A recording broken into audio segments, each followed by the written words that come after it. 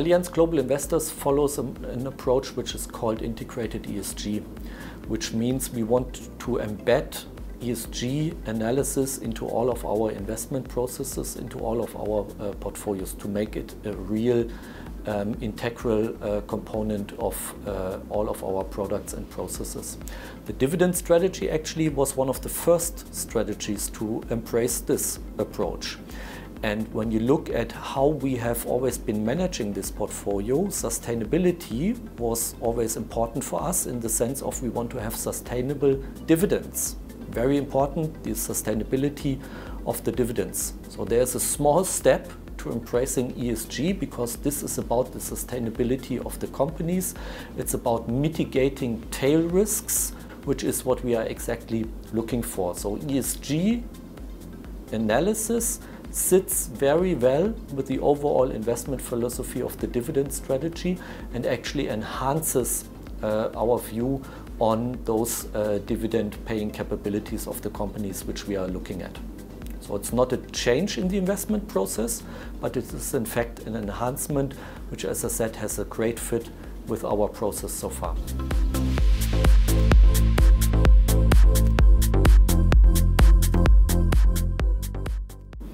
I think there's a great benefit for investors potentially.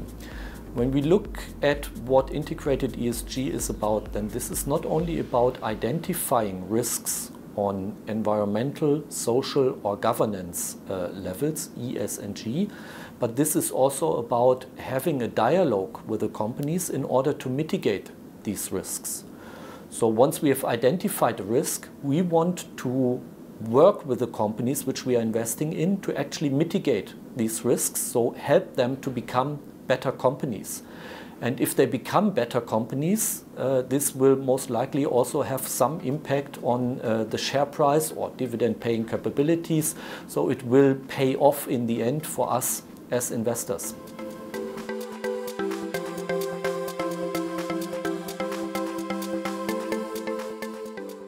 There are plenty of examples, obviously, because we engage with the majority of uh, our portfolio holdings on E, S or G related uh, matters.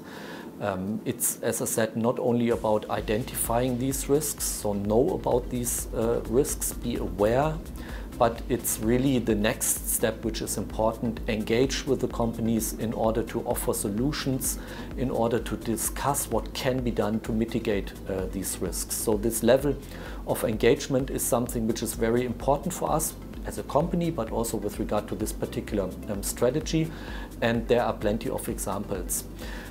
When we talk about this engagement, there is engagement which can obviously be done relatively simply and which leads to results quite quickly. So when we talk about governance issues, this is something which can, can be identified uh, quite quickly. And sometimes the solution, if the companies want to cooperate, can be found uh, also quite quickly.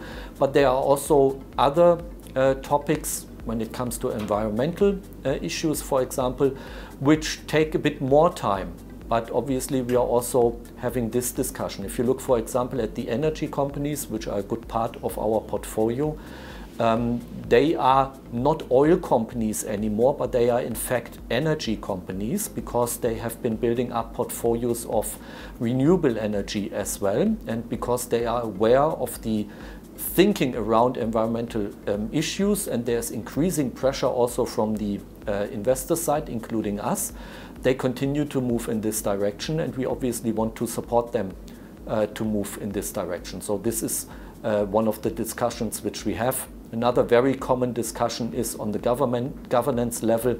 We often uh, criticize the decomposition of the board. We are very critical with regard to compensation because uh, what's been given out uh, to the board, for example, uh, is not available for us as investors anymore. So there's a certain trade-off uh, between incentivizing uh, the, uh, the, the management in the right way. They should get paid well, obviously, but we obviously also don't want to overdo it because this will come at our expense. And Allianz Global Investors is very vocal about this, and we have a lot of touch points with our companies on issues like this, for example.